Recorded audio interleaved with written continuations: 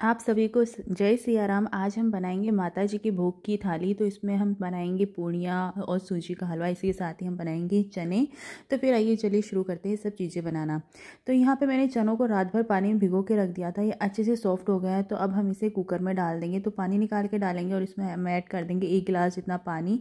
और इसी के साथ हम ऐड कर देंगे नमक। और इसमें कुछ भी ऐड नहीं करेंगे। सात से आठ सीटियाँ लगाएँगे हम मीडियम आँच पर जितनी सीटियाँ लगती है, हम सूजी का हलवा बना के तैयार कर लेंगे। तो यहाँ पे मैंने वन फोर्थ कप जितना सूजी लिया है। सूजी आप मोटी या बारीक कोई सी भी ले सकते हैं तो इसमें सारा जो सूजी, घी और चीनी का रेशो रहता है वह सब बराबर रहता है। तो हम इसमें थोड़ा थोड़ा करके घी ऐड करेंगे। तो इसको हम मीडियम आँच पे ही सेकेंगे, तेज़ आँच पे नहीं सेकेंगे।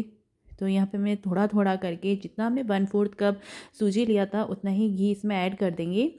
तो धीरे धीरे ही हमें सीखना है धीरे धीरे देखिए इस तरह से सूजी हमारी फूलने लग गई है और घी अलग होने लग गया है। तो इसी के साथ में मैं ऐड कर रही हूँ अब एक चम्मच जितना बेसन भी। इससे जो सूजी का हलवा बनेगा वह बहुत ही ज़्यादा टेस्टी बनेगा। आज हम मीडियम में रखेंगे जिससे कि अच्छे से भुन जाए। तो हलवे से है ना बहुत अच्छी खुशबू आने लग गई है, अच्छे से सीख गया देखिए इसका अच्छे से कलर चेंज हो गया तो जितनी हमने सूची ली है, उसका तीन गुना यहाँ पे मैंने पानी ले लिया है। तो अब वो पानी हम इसमें ऐड कर देंगे। पानी एक साथ सारा नहीं डालेंगे थोड़ा थोड़ा करके हम इसमें पानी ऐड करेंगे और इसको अच्छे से चलाते रहेंगे। तो यहाँ पे मैंने थोड़ा थोड़ा करके इसमें पानी ऐड कर दिया है। तो यहाँ पे मैंने कुछ केसर के धागे दूध में भिगो के रख रखे थे, वह भी हम इसमें ऐड कर देंगे। अच्छे से सब सामानों को मिला देंगे। और इसी के साथ में मैंने यहाँ पे कुछ काजू और किशमिश और इलायची पाउडर लिया था। वह भी इसमें ऐड कर देंगे। सबको अच्छे से मिक्स कर देंगे। इसी के साथ में हम जितनी हमने सूजी ली, उतनी ही चीनी इसमें मिला देंगे। चीनी को पिघलने तक हम अच्छे से मेल्ट करेंगे जब तक कि, है ना, सूजी का हलवा इस तरह से कढ़ाई नहीं छोड़ दें। जब सब सामान अच्छे से मिक्स हो जाए, चीनी अच्छे से मेल्ट हो जाए तो हम गैस को बंद कर देंगे। तो ये हमारा सूजी का हलवा बन के रेडी हो चुका है। तो अब हम चलते हैं चने की प्रोसेस पे। तो ये देखिए, हमारे चने भी अच्छे से उबल चुके हैं। मैंने इसमें आठ से दस सीटी लगा ली थी। आप इस तरह से इसको दबा के देख सकते हैं। तो इसके लिए हम एक मसाला तैयार करेंगे। तो यहाँ पे मैं डाल रही हूँ एक चम्मच लाल मिर्ची का पाउडर, हल्दी पाउडर और धनी का पाउडर और नमक हमने उसमें भी ऐड करा था तो उसी हिसाब से हम मसाले में नमक ऐड करेंगे और पानी डाल के एक पेस्ट बना के तैयार करेंगे। जब हम इस तरह का मसाला बना के तैयार करते हैं तो हमारा जो सब्ज़ी बनती है वो बहुत अच्छी बनती है और मसाला जलता भी नहीं है। कढ़ाई में थोड़ा सा तेल ऐड करेंगे, उसके तेल के गर्म हो जाने के बाद में जीरा डालेंगे। जीरे के तड़कने के बाद में हमारा तैयार किया हुआ मसाला डाल देंगे। मसाले को तेल छोड़ने तक पकाएँगे।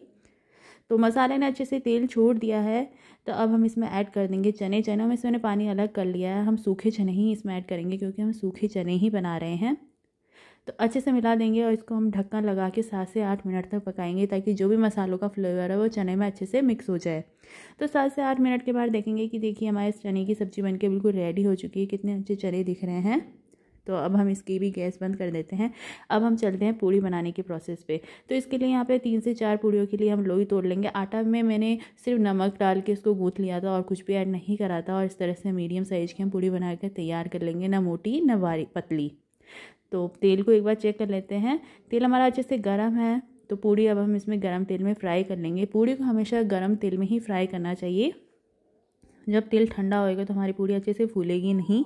अगर आपने अभी तो मेरे चैनल को सब्सक्राइब नहीं किया तो चैनल को सब्सक्राइब भी कर लीजिए। तो पूड़ी को हम अच्छे से आगे और पीछे से फ्राई कर लेंगे। आपको मेरी रेसिपी कैसी लगती है, ये भी मुझे कमेंट करके आप ज़रूर बताइए, क्योंकि अगर आपके कमेंट आते तो मुझे बहुत मोटिवेशन मिलता है।